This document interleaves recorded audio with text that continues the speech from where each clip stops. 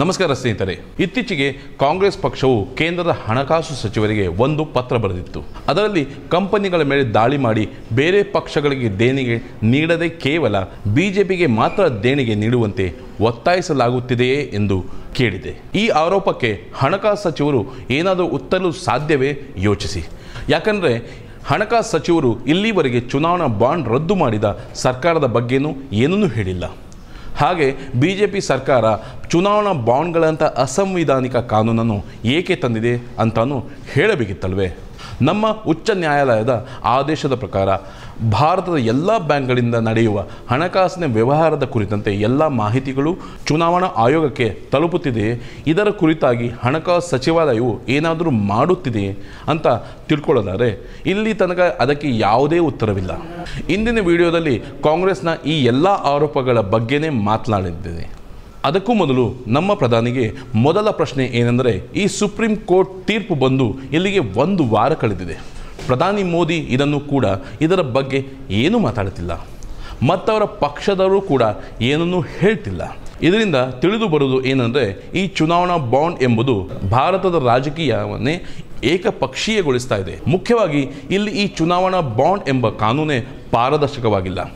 ಅದರಿಂದಲೇ supreme court ಇದನ್ನು ರದ್ದು ಮಾಡಿದೆ.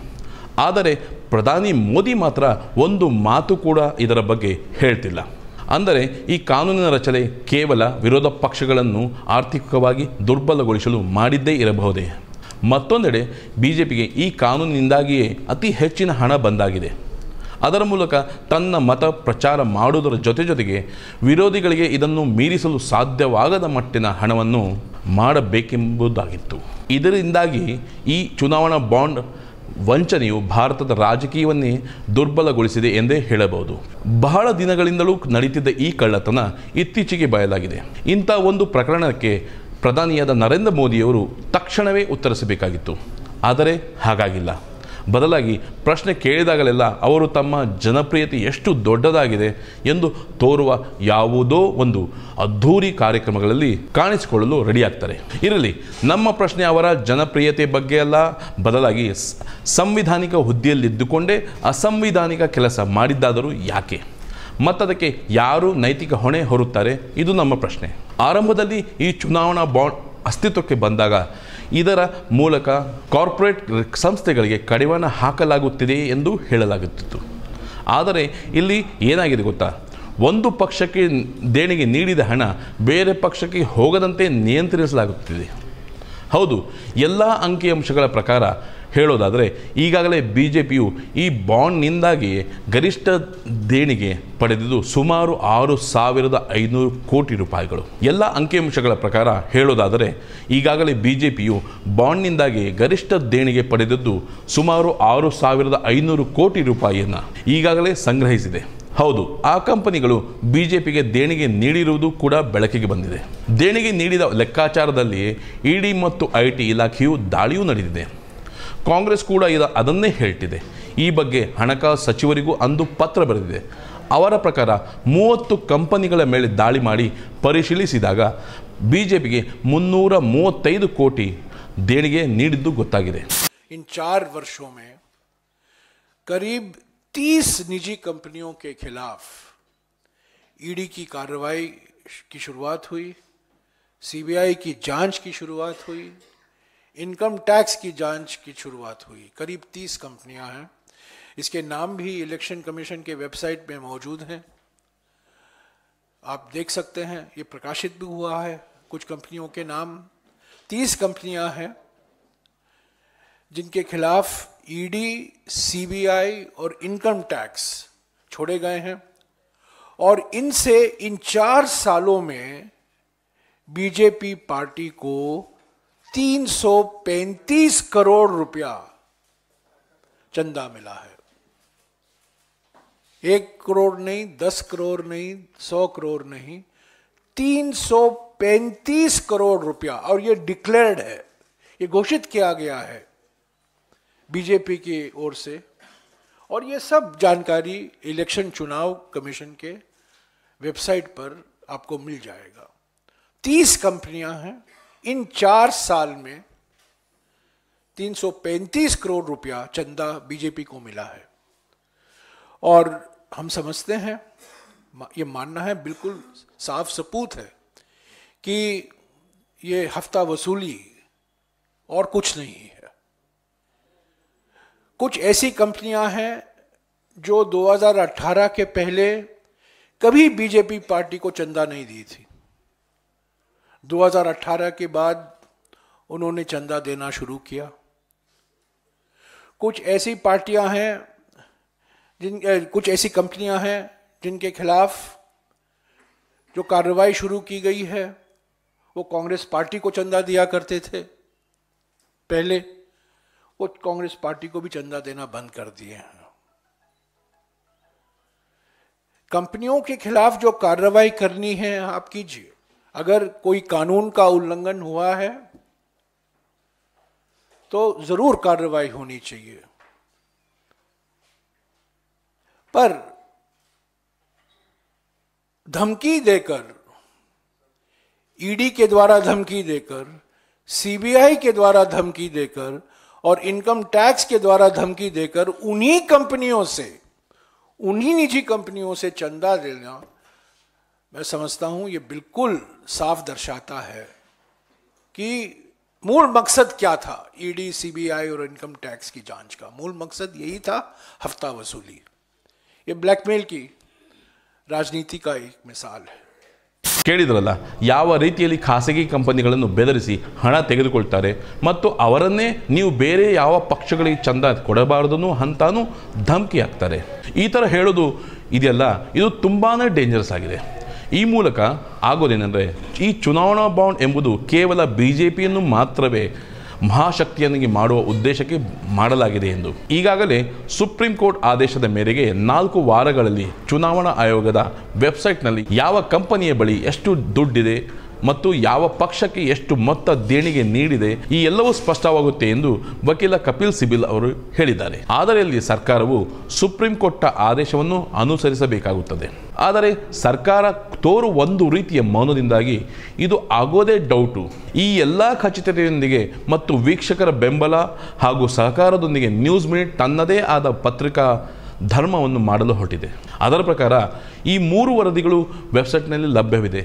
ನ್ಯೂಸ್ ಮೇಟ್ ಧನ್ಯ ರಾಜೇಂದ್ರನ್ ರಾಗನ್ ಕಾರ್ತಿಕೇಯನ್ ಅವರ ಈ ವರದಿಯು ಇದನ್ನೆಲ್ಲ ಸಾಬೀತುಪಡಿಸುತ್ತಿದೆ. ಅಲ್ಲಿ ಕೇಳಿರುವ ಎಲ್ಲ ಪ್ರಶ್ನೆಗಳು ಸರಿಯಾಗಿದೆ. ಎಲೆಕ್ಟ್ರಾಲ್ ಬಾಂಡ್ ಬಗ್ಗೆ ಹೇಳುವಾಗ ನ್ಯೂಸ್ ಮೇಟ್ ಹೇಳಿದ್ದು ಏನಂದರೆ, ಮೂವತ್ತು ಕಂಪನಿಗಳು ಬಿ ಜೆ ಪಿಗೆ ಮುನ್ನೂರ ಮೂವತ್ತೈದು ಕೋಟಿ ರೂಪಾಯಿ ದೇಣಿಗೆ ನೀಡಿದ್ದು. ಅವುಗಳಲ್ಲಿ ಇಪ್ಪತ್ತ್ಮೂರು ಕಂಪನಿಗಳು ದಾಳಿಗೆ ಹೆದರಿಯೇ ನೂರ ಎಂಬತ್ತೇಳು ಕೋಟಿ ರೂಪಾಯಿಗಳನ್ನು ಬಿ ಜೆ ಪಿಗೆ ನೀಡಿದೆ ಎಂಬುದು. ಇಲ್ಲಿ ವಿಚಿತ್ರ ಏನಂದರೆ ಈ ಮೊದಲು ಈ ಕಂಪನಿಗಳು ಬಿ ಜೆ ಪಿಗೆ ದೇಣಿಗೆ ನೀಡೇ ಇರಲಿಲ್ಲ. ಈ ಇಪ್ಪತ್ತ್ಮೂರು ಕಂಪನಿಗಳಲ್ಲಿ ಕನಿಷ್ಠ ಇಂತಹ ಕಂಪನಿಗಳು ಐ ಟಿ ದಾಳಿಯ ನಾಲ್ಕು ತಿಂಗಳೊಳಗೆ ಒಟ್ಟು ಒಂಬತ್ತು ಕೋಟಿ ರೂಗಳನ್ನು ದೇಣಿಗೆ ನೀಡಿದೆ. ಇವುಗಳಲ್ಲಿ ಈ ಹಿಂದೆ ಬಿ ಜೆ ಪಿಗೆ ದೇಣಿಗೆ ನೀಡಿದ ಕನಿಷ್ಠ ಆರು ಕಂಪನಿಗಳಿವೆ. ಅವುಗಳು ಐ ಟಿ ದಾಳಿಯ ನಂತರದ ತಿಂಗಳಲ್ಲಿ ದೇಣಿಗೆಯ ಪ್ರಮಾಣವನ್ನು ಮತ್ತಷ್ಟು ಹೆಚ್ಚಿಸಿದೆ ಇದರಲ್ಲಿ ಆರು ಕಂಪನಿಗಳು ಕೆಲವು ವರ್ಷಗಳ ಹಿಂದೆ ಬಿ ಜೆ ಪಿಗೆ ದೇಣಿಗೆ ಕೊಡೋದನ್ನು ಒಂದು ವರ್ಷಕ್ಕೆ ನಿಲ್ಲಿಸಿದ್ದವು ನಿಲ್ಲಿಸಿದ ತಕ್ಷಣವೇ ಕೇಂದ್ರ ಸಂಸ್ಥೆಗಳಿಂದ ದಾಳಿಯ ಕ್ರಮವನ್ನು ಎದುರಿಸಬೇಕಾಯಿತು न्यूज़ मिनट और न्यूज़ लॉन्ड्री ने अ, थोड़े महीने पहले ये इन्वेस्टिगेशन हमने शुरू किया था हमने क्या किया कि ये जो इलेक्टोरल डोनेशंस है हमने बीजेपी का लिस्ट ईसीआई वेबसाइट से उठा के हमने ये देखा कि for example the News Minute जो हमारे हेड ऑफ़िस बेंगलुरु में, हमने साउथ इंडिया के कंपनीज़ के बारे में पढ़ा। हमने देखा कि किन किन कंपनियों ने एक करोड़ रुप एक करोड़ रुपये के ज़्यादा दिया है बीजेपी को। तो वो लिस्ट हमने बनवाया 2018 से लेकर 2023 तक। उस लिस्ट को बनवाने के बाद हमने ये देखने की कोशिश की कि ये सारे कंपनीज़ के मालिक कौन हैं। उसमें लगभग 40 परसेंट बीजेपी लीडर्स जैसे कि राजीव चंद्रशेखर पीसी मोहन ये सब लोकल यहाँ के लीडर्स हैं। उन लोगों ने उनके कंपनियों के द्वारा डोनेशंस दिए हैं, ये सब लीगल है तो हमने उनको इस लिस्ट से हटा दिया। फिर जो 60 परसेंट कंपनीज़ हैं, उसमें थोड़े से कंपनीज़ हमको पता नहीं है कि उन लोगों ने क्यों दिया, लेकिन कॉर्पोरेट्स देते हैं पॉलिटिकल डोनेशंस तो उसमें कोई शंका नहीं थी। फिर almost thirty to forty percent companies जब हमने देखा हमको ये मालूम पड़ गया कि एक पैटर्न है। अगर फॉर एग्जांपल 2018 को एक कंपनी पे रेड होता है या इन्वेस्टिगेशन शुरू होता है, इन इनकम टैक्स के और ईडी का अगर इन्वेस्टिगेशन या रेड होता है तो वो तुरंत ही, कुछ महीने बाद भाजपा को पैसे देते हैं, नहीं तो एक एक साल के बाद पैसे देते हैं। फॉर एग्जांपल एक कंपनी है यहाँ पे सालारपुरिया नाम की बेंगलुरु में एक कंपनी है। उन लोगों ने 2021-22 में ऑलमोस्ट फाइव सिक्स करोड़ दिए हैं उनकी कंपनी की तरफ़ से और उनके सब्सिडरीज की तरफ़ से। तो हमने जब देखा कि क्यों ये पैसे दे रहे हैं, क्योंकि 2014 से जब Bhajpa actually first time government में आए, तब से लेकर ये सालारपुरिया ने 2021 20 20 तक नहीं दिया था। तो हम ये जानने की कोशिश कर रहे थे, क्यों इस इस बार क्यों दिया? तब हमें पता चला कि 2018 को एक एक और कंपनी हीरा ग्रुप नाम के एक कंपनी है हैदराबाद में उनके ऊपर ईडी ने एक इन्वेस्टिगेशन शुरू किया था और ईडी उस समय सालारपुरिया को भी इन्वेस्ट कर रहे थे। शायद इसीलिए सालारपुरिया ने डोनेट किया। ऐसे बहुत सारे कंपनी है फ्यूचर गेमिंग सर्विसेज़ वो कोयम्बतूर की बेस्ड है। उनका ओनर का नाम, उस कंपनी का ओनर का नाम है सैंटियागो मार्टिन वो यहाँ के लॉटरी किंग माने जाते हैं। उनके कंपनी पे रेड हुआ। अगले ही साल उन्होंने हंड्रेड क्रोर्स हंड्रेड क्रोर्स दिया प्रूडेंट इलेक्टोरल ट्रस्ट को। ये प्रूडेंट इलेक्टोरल ट्रस्ट जो है वो दिल्ली में बेस्ड है वो उनके पैसे से ऑलमोस्ट 80 टू 90 परसेंट बीजेपी को ही देते हैं। सो फ्यूचर गेम्स क्या करते हैं? हंड्रेड क्रोर्स ट्रस्ट में डालते हैं और ट्रस्ट बीजेपी को देते हैं। और हमने दो और बात देखी क्या क्या ये कंपनियाँ कांग्रेस को पैसे दे रहे थे? सो so, इस थर्टी में हमने सिर्फ़ तीन कंपनियों को देखा है जो कांग्रेस को भी पैसे दे रहे थे। आ, हमने ये भी देखा कि 2014 से अब तक इन लोगों ने कितने बार दिया? तो वो लोग सिर्फ़ उस, उसी साल जब उनका रेड हुआ था, उसी साल दे रहे थे, बाकी साल नहीं दे रहे थे। बीजेपी बोलते हैं कि वो भ्रष्टाचार के खिलाफ है, उनके उनके पार्टी भ्रष्टाचार के खिलाफ है। तो ये सारे कंपनियाँ अगर भ्रष्ट है और आईटी और ईडी इनके खिलाफ एक्शन दे रहे हैं तो वही बीजेपी को भी पैसे दे रहे हैं। तो ये थोड़ा सा अजीब ज़रूर है। ಈಗ ಹೇಳಿ, ಈ ಐ ಟಿ ರೈಡ್ ಮಾಡಿದ ಕೂಡಲೇ ಆ ಕಂಪನಿಗಳು ಬಿ ಜೆ ಪಿಗೆ ದೇಣಿಗೆ ಕೊಡ್ತಾ ಇದ್ದರೆ ಅಥವಾ ದೇಣಿಗೆಯ ಮೊತ್ತವನ್ನು ಜಾಸ್ತಿ ಮಾಡಿದ್ದರೆ ಈ ದಾಳಿಯ ಉದ್ದೇಶ ಏನಿರಬಹುದು ಎಂಬುದನ್ನು ನೀವೇ ಯೋಚಿಸಿ. ಈ ಥರ ದಾಳಿಯ ಮೂಲಕವೇ ಕಂಪನಿಗಳನ್ನು ಹೆದರಿಸಿ ನೀವು ಬಿ ಜೆ ಪಿಗೆ ಮಾತ್ರವೇ ದೇಣಿಗೆ ನೀಡಬೇಕು ಮತ್ತು ಇನ್ಯಾವುದೇ ವಿರೋಧ ಪಕ್ಷಕ್ಕೆ ನೀಡಬಾರದು ಅನ್ನೋದು ಎಷ್ಟು ಸರಿ? ಮಧ್ಯಪ್ರದೇಶದ ಡಿಸ್ಟಲರಿ ಕಂಪನಿಯೊಂದು ಇಡೀ ದಾಳಿಯ ನಂತರವೇ ಬಿ ಜೆ ಪಿಗೆ ಗರಿಷ್ಠ ದೇಣಿಗೆ ನೀಡಿತ್ತು. ಅದು ಕೂಡ ಬಲು ಬೇಗನೆ. ಈ ಎಲ್ಲ ಕೆಲಸಗಳು ಕೆಲವೇ ದಿನಗಳಲ್ಲಿ ಮುಗಿದಿದ್ದವು. ಆ ಬಳಿಕ ಆ ಕಂಪನಿಯವರಿಗೆ ತಕ್ಷಣ ಜಾಮೀನು ಕೂಡ ಸಿಕ್ಕಿತ್ತು. ಒಟ್ಟಿನಲ್ಲಿ ಇದು ಏನನ್ನು ಹೇಳುತ್ತೆ ಅಂದರೆ ನಮ್ಮ ಭಾರತದ ಪ್ರಜಾಪ್ರಭುತ್ವದ ಆಡಳಿತದಲ್ಲಿ ಕೇವಲ ಆಡಳಿತ ಪಕ್ಷ ಮಾತ್ರವೇ ಇರಬೇಕು, ಹೊರತು ವಿರೋಧ ಪಕ್ಷ ಇರಬಾರದು ಎಂದು ಪ್ರಜಾಪ್ರಭುತ್ವ ಎಂಬ ವ್ಯವಸ್ಥೆಯಲ್ಲಿ ಯಾವುದೇ ವಿರೋಧ ಪಕ್ಷಗಳಿಲ್ಲದೆ ಹೋದರೆ ಪ್ರಜಾಪ್ರಭುತ್ವದ ಮುಂದಿನ ಪ್ರಯಾಣವು ಅತಿ ಭಯಾನಕವಾಗಿರುವುದಂತೂ ಖಂಡಿತ ಇದನ್ನು ಬರೆದಿಟ್ಕೊಳ್ಳಿ ಮುಂದೆ ಆಗೋದಂತೂ ಸತ್ಯ ಹೌದು ಪ್ರಶ್ನೆ ಬಹಳ ಗಂಭೀರವಾಗಿದೆ ಇದೆಲ್ಲ ಹೀಗೆ ಮುಂದುವರೆದರೆ ಭಾರತದ ಪ್ರಜಾಪ್ರಭುತ್ವದಲ್ಲಿ ವಿರೋಧ ಪಕ್ಷವಂತೂ ಉಳಿಯೋದಿಲ್ಲ ಮತ್ತು ವಿರೋಧ ಪಕ್ಷ ಇಲ್ಲದೆ ಪ್ರಜಾಪ್ರಭುತ್ವವೂ ಇರೋದಿಲ್ಲ होते हैं इन्हीं के कार्यकाल में हुआ है कभी खा- किसी राजनीतिक दल का खाता बंद नहीं हुआ है किसी पर इनकम टैक्स का नोटिस इतनी भारी मात्रा में नहीं आया है और इस तरह किसी निजी कंपनियों के खिलाफ कार्रवाई नहीं की गई है ताकि उनसे आप चंदा हासिल करें। तो हमने इसकी जाँच की मांग की है। हमने सवाल भी उठाए हैं वित्त मंत्री से, जो आप पढ़ेंगे। तो हमने तीन सवाल उठाए हैं। एक सवाल तो यह है कि क्या आप आपने तो अर्थव्यवस्था पर श्वेत पत्र प्रकाशित किया। क्या आप हफ़्ता वसूली पर एक श्वेत पत्र प्रकाशित करेंगे? क्या जनता को विश्वास में लेंगे कि आपके पार्टी को चंदा मिला है? कहाँ कहाँ से चंदा मिला है? और ये विषय और भी महत्व रखता है क्योंकि सुप्रीम कोर्ट ने कहा है कि इलेक्ट्रल बॉन्ड परियोजना हमारे संविधान के खिलाफ है। दूसरा जो सवाल हमने उठाया है कि आप अगर जैसे कि आप दावा करते हैं कि आप का फाइनेंसिंग दल का फाइन पार्टी का फाइनेंसिंग बिल्कुल पारदर्शिता से होता है आपको कोई छुपाने की ज़रूरत नहीं है अगर ये बात सही है कि जो सम, जो जानकारी आई है चुनाव आयोग के वेबसाइट में जो जानकारी ली गई है इन न्यूज़ पोर्टल के द्वारा क्या उसका आप खंडन करेंगे?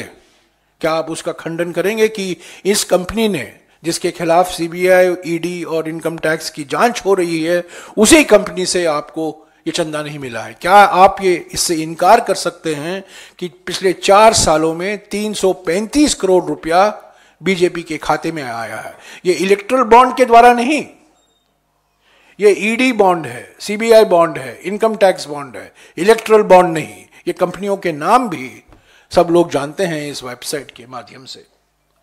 और तीसरा सवाल जो हमने कहा है कि अगर आपकी नीयत साफ़ है, अगर आपने कुछ गलती नहीं की है, कि क्या आप एक सुप्रीम कोर्ट द्वारा मॉनिटर्ड जाँच को स्वीकार करेंगे? ನ್ಯೂಸ್ ಲಾಂಡ್ರಿ ಮತ್ತು ನ್ಯೂಸ್ ಮೇಡ್ ಸಂಸ್ಥೆಗಳು ಚುನಾವಣಾ ಆಯೋಗದ ದಾಖಲೆಗಳನ್ನು, ಕೇಸ್ ಫೈಲ್ಗಳನ್ನು ಮತ್ತು ಹಣಕಾಸು ಹೇಳಿಕೆಗಳನ್ನು ಜಂಟಿಯಾಗಿ ತನಿಖೆ ಮಾಡಿದೆ. ಈ ತನಿಖೆಯು ಸುಪ್ರೀಂ ಕೋರ್ಟ್ನ ತನಿಖೆಯ ಅಂಶಕ್ಕೆ ಸಮವಾಗಿದೆ ಎಂದು ಸಾಬೀತುಪಡಿಸಿದೆ. ನ್ಯಾಯಾಲಯವು ಫೆಬ್ರವರಿ ಹದಿನೈದರ ತನ್ನ ಆದೇಶದಲ್ಲಿ ಹೇಳಿದ್ದು ಏನಂದರೆ, ಈ ಚುನಾವಣಾ ಬಾಂಡ್ ಯೋಜನೆಯು ಕೊಡು ಮತ್ತು ತೆಗೆದುಕೊಳ್ಳುವ ವ್ಯವಸ್ಥೆಯನ್ನು ಉತ್ತೇಜಿಸುತ್ತೆ ಎಂದು. ಆದರೆ ಇಲ್ಲಿ ಪ್ರತಿ ದಾಖಲೆಯನ್ನು ನೋಡಿದಾಗ ತಿಳಿಯೋದೇನೆಂದರೆ ಬಿ ಜೆ ಪಿಯೇ ಅತಿ ಹೆಚ್ಚು ದೇಣಿಗೆ ಪಡೆದಿದೆ ಎಂದುದು. ಈಗಾಗಲೇ ನ್ಯೂಸ್ ಲಾಂಡ್ರಿ ಮತ್ತು ನ್ಯೂಸ್ ಮಿಂಟ್ ಸಂಸ್ಥೆಗಳು ಚುನಾವಣಾ ಆಯೋಗದ ದಾಖಲೆಗಳನ್ನು, ಕೇಸ್ ಫೈಲ್ಗಳನ್ನು ಮತ್ತು ಹಣಕಾಸು ಹೇಳಿಕೆಗಳನ್ನು ಜಂಟಿಯಾಗಿ ತನಿಖೆ ಮಾಡಿದೆ. ಈ ತನಿಖೆಯು ಸುಪ್ರೀಂ ಕೋರ್ಟ್ ಆದೇಶದ ಅಂಶಕ್ಕೂ ಸಮವಾಗಿದೆ ಎಂದು ಸಾಬೀತುಪಡಿಸಿದೆ. ನ್ಯಾಯಾಲಯವು ಫೆಬ್ರವರಿ ಹದಿನೈದರ ತನ್ನ ಆದೇಶದಲ್ಲಿ ಹೇಳಿದ್ದು ಏನೆಂದರೆ, ಈ ಚುನಾವಣಾ ಬಾಂಡ್ ಯೋಜನೆಯು ಕೊಡು ಮತ್ತು ತೆಗೆದುಕೊಳ್ಳುವ ವ್ಯವಸ್ಥೆಯನ್ನು ಉತ್ತೇಜಿಸುತ್ತೆ ಎಂದು. ಆದರೆ ಇಲ್ಲಿ ಪ್ರತಿ ದಾಖಲೆಯನ್ನು ನೋಡಿದಾಗ ತಿಳಿಯುವುದೇನೆಂದರೆ ಬಿ ಜೆ ಪಿಯೇ ಅತಿ ಹೆಚ್ಚು ದೇಣಿಗೆ ಪಡೆದಿದೆ ಎಂಬುದು. ಅಂದರೆ ಎಲೆಕ್ಟ್ರಾಲ್ ಟ್ರಸ್ಟ್ ಮೂಲಕ ಬಿ ಜೆ ಪಿಯೇ ಶೇಕಡ ಎಪ್ಪತ್ತಕ್ಕಿಂತ ಹೆಚ್ಚು ಮೊತ್ತವನ್ನು ಪಡೆದಿದೆ. ಕಳೆದ ಹತ್ತು ವರ್ಷಗಳಲ್ಲಿ ವಿವಿಧ ಟ್ರಸ್ಟ್ಗಳ ಮೂಲಕ ಬಿ ಜೆ ಪಿಗೆ ಸುಮಾರು ಒಂದು ಸಾವಿರ ಎಂಟುನೂರ ತೊಂಬತ್ತ್ಮೂರು ಕೋಟಿ ರು ಹೆಚ್ಚು ಮೌಲ್ಯದ ದೇಣಿಗೆ ಬಂದಿದೆ. ಇದರಲ್ಲಿ ಇನ್ನೂ ಭಯಾನಕವಾದದ್ದು ಏನೆಂದರೆ ದೇಣಿಗೆ ನೀಡಿದ ಮೂವತ್ತೆರಡು ಕಂಪನಿಗಳಲ್ಲಿ ಕೇವಲ ಮೂರು ಕಂಪನಿಗಳಿಂದ ಮಾತ್ರವೇ ಕಾಂಗ್ರೆಸ್ ದೇಣಿಗೆ ಪಡೆದಿದೆ. ಈ ಅಂಕಿಅಂಶವು ಎರಡು ಸಾವಿರದ ಹದಿನೆಂಟು ಹತ್ತೊಂಬತ್ತರಿಂದ ಇಪ್ಪತ್ತೆರಡರ ನಡುವೆ ಇದೆ. ಅಷ್ಟೇ ಅಲ್ಲ, ಎರಡು ಸಾವಿರದ ಹದಿಮೂರು ಮತ್ತು ಇಪ್ಪತ್ತ್ಮೂರರ ನಡುವಿನ ಹತ್ತು ವರ್ಷಗಳಲ್ಲಿ ಚುನಾವಣಾ ಟ್ರಸ್ಟ್ಗಳ ಮೂಲಕ ಕಾಂಗ್ರೆಸ್ ಪಡೆದಿರುವ ಮೊತ್ತವು ಇದರೊಳಗೆ ಬಿ ಜೆ ಪಿ ಪಡೆದ ಮೊತ್ತಕ್ಕಿಂತಲೂ ಕಡಿಮೆಯಾಗಿದೆ. ಅರ್ಥ ಮಾಡ್ಕೊಳ್ಳಿ, ಹತ್ತು ವರ್ಷಗಳಲ್ಲಿ ಕಾಂಗ್ರೆಸ್ ಪಡೆದಿದ್ದು ಹಣ ಬಿ ಜೆ ಪಿಗೆ ಕೇವಲ ಒಂದೇ ಒಂದು ವರ್ಷದಲ್ಲಿ ಸಿಕ್ಕಿದೆ. ಈ ವ್ಯತ್ಯಾಸ ಬಂದರೆ ಆರ್ಥಿಕವಾಗಿ ಸೂಪರ್ ಪವರ್ ಆಗಿರುವ ಬಿ ಜೆ ಪಿಗೆ ನಿಸ್ಸಂಶಯವಾಗಿ ಕಾಂಗ್ರೆಸ್ ಎದುರಿಸಲಾರದು. ಕಾಂಗ್ರೆಸ್ ಹೇಳುತ್ತಿದೆ ಇದೆಲ್ಲ ನಡೆದುದು ಕೇವಲ ಎಲೆಕ್ಟ್ರಾಲ್ ಬಾಂಡ್ ಮತ್ತು ರೇಡ್ ಮೂಲಕ ಇದಷ್ಟೇ ಅಲ್ಲ ಕೊನೆ ಕ್ಷಣದಲ್ಲಿ ಕಾಂಗ್ರೆಸ್ ಪಕ್ಷದ ಖಾತೆಯಲ್ಲಿರುವ ಹಣವನ್ನು ನೇರವಾಗಿ ಸರ್ಕಾರಕ್ಕೆ ವರ್ಗಾಯಿಸುವಂತೆ ಬ್ಯಾಂಕ್ಗಳು ಕೂಡ ಒತ್ತಾಯಿಸಿದೆ ಎಂದು ಕಾಂಗ್ರೆಸ್ ಆರೋಪಿಸಿದೆ आज मुझे बड़े दुख के साथ आप सब लोगों को और आप लोगों के माध्यम से देश की जनता को ये सूचित करना पड़ रहा है कि भाजपा की सरकार ने सभी अपनी ऑपोजिशन पार्टीज़ के खिलाफ और मुख्य ऑपोजिशन पार्टी के खिलाफ आर्थिक आतंकवाद शुरुआत कर दी।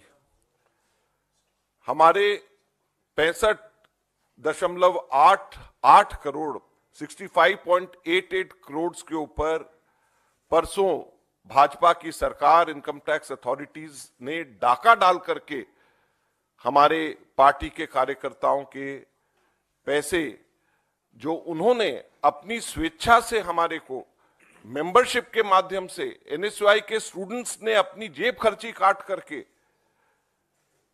मेंबरशिप के माध्यम से क्राउड फंडिंग जिसका 95 परसेंट सौ रुपए से कम हम लोगों के पास में आया था, वो पैसा हम लोगों के बैंक अकाउंट में जो जमा था, उस पे डाका डाल करके, चोरी करके, वो पैसा मोदी सरकार अपने पास में लेकर के चली गई।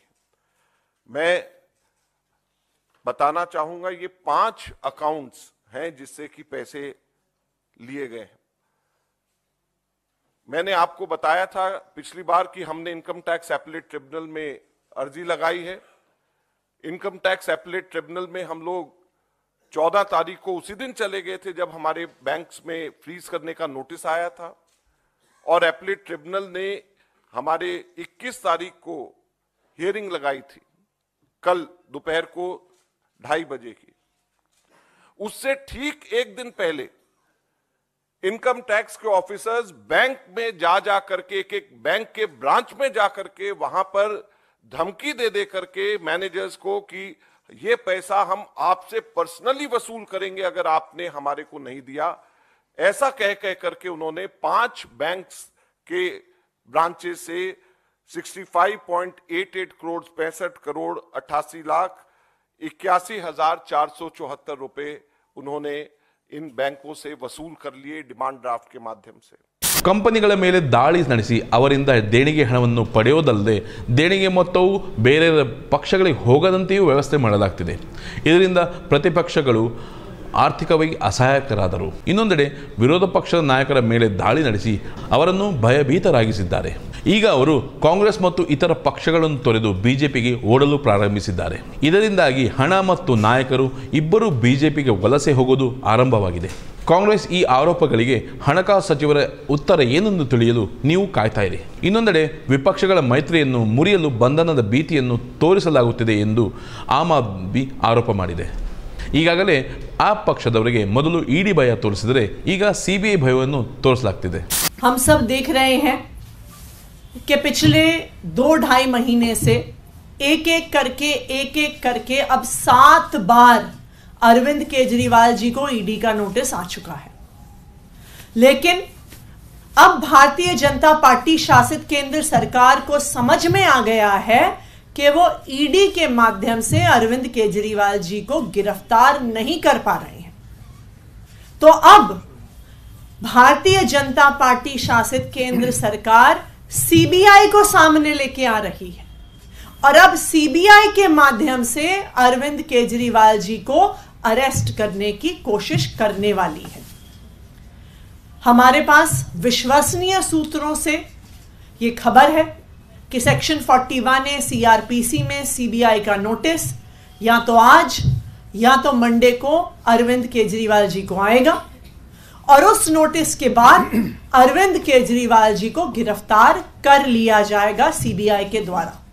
और एक बार सीबीआई ने गिरफ़्तार कर लिया तो जैसे मनीष सिसोदिया जी को विजय नायर जी को सीबीआई की गिरफ्तारी के बाद कुछ ही दिनों में ईडी द्वारा भी गिरफ़्तार कर लिया जाता है। हमें बार बार एक ही संदेश आ रहा है कि कांग्रेस के साथ अलायंस मत करो। सीट शेयरिंग मत करो। इंडिया अलायंस से दूर हट जाओ, वरना अरविंद केजरीवाल जी को सीबीआई द्वारा आने वाले कुछ ही दिनों में गिरफ़्तार कर लिया जाएगा। ಇಂಡಿಯನ್ ಎಕ್ಸ್ಪ್ರೆಸ್ನ ದೀಪ್ತಿಮಾನ್ ತಿವಾರಿಯವರು ನಡೆಸಿದ ಸೆಪ್ಟೆಂಬರ್ ಎರಡು ಸಾವಿರದ ಇಪ್ಪತ್ತೆರಡರ ತಮ್ಮ ವರದಿಯಲ್ಲಿ ಎರಡು ಸಾವಿರದ ಹದಿನಾಲ್ಕರಿಂದ ರಾಜಕೀಯ ನಾಯಕರ ವಿರುದ್ಧ ಇಡಿ ಪ್ರಕರಣಗಳು ನಾಲ್ಕು ಪಟ್ಟು ಹೆಚ್ಚಾಗಿದೆ ಮತ್ತು ಯಾವ ನಾಯಕರ ವಿರುದ್ಧ ಕಾರ್ಯಾಚರಣೆ ಆಯಿತೋ ಅವರಲ್ಲಿ ತೊಂಬತ್ತೈದು ಮಂದಿ ವಿರೋಧ ಪಕ್ಷದ ನಾಯಕರೇ ಆಗಿದ್ದಾರೆ. ಎರಡು ಸಾವಿರದ ಇಪ್ಪತ್ನಾಲ್ಕರ ಚುನಾವಣೆ ಈಗ ನಿಮ್ಮ ಮುಂದಿದೆ. ಈಗಾಗಲೇ ವಿಪಕ್ಷಗಳನ್ನು ಆರ್ಥಿಕವಾಗಿ ದುರ್ಬಲ ಮಾಡಲಾಗಿದೆ. ವಿರೋಧ ಪಕ್ಷಗಳನ್ನು ರಾಜಕೀಯವಾಗಿ ಒಡೆಯಲಾಗಿದೆ. ಗೋಧಿ ಮಾಧ್ಯಮಗಳು ಪ್ರತಿಪಕ್ಷಗಳಿಗೆ ಸಮಾನವಾದ ಸ್ಥಾನವನ್ನು ನೀಡುತ್ತಿಲ್ಲ. ಈ ರೀತಿ ಪ್ರತಿಪಕ್ಷಗಳು ಸಾರ್ವಜನಿಕರ ದೃಷ್ಟಿಗೆ ಬೀಳದಂತೆ ಏನು ಮಾಡಬೇಕು ಆ ಎಲ್ಲ ವ್ಯವಸ್ಥೆಗಳನ್ನು ಮಾಡಲಾಗ್ತಿದೆ. ಒಟ್ಟಿನಲ್ಲಿ ಮುಂದೆ ಸುತ್ತಲೂ ನಮಗೆ ಬಿಜೆಪಿಯ ಭಿತ್ತಿಪತ್ರಗಳು, ಪ್ರಚಾರಗಳಷ್ಟೇ ಕಾಣಸಿಗುತ್ತವೆ. ಒಟ್ಟಿನಲ್ಲಿ ಲೋಕಸಭಾ ಚುನಾವಣೆ ಆರಂಭವಾಗುವ ಮುನ್ನವೇ ವಿಪಕ್ಷಗಳನ್ನು ಕೈಕಾಲು ಕಟ್ಟಿ ಕೆರೆಗೆ ಎಸೆದಾಗಿದೆ. ಧನ್ಯವಾದ. ಮತ್ತಷ್ಟು ವಿಶೇಷ ವಿಡಿಯೋಗಳನ್ನು ನೋಡಲು ಮತ್ತು ಹೊಸ ವಿಡಿಯೋಗಳ ಬಗ್ಗೆ ತಿಳಿಯಲು ಈ ದಿನ dot com YouTube channel subscribe ಮಾಡಿ ಮತ್ತು ಬೆಲ್ ಐಕಾನ್ ಕ್ಲಿಕ್ ಮಾಡಿ.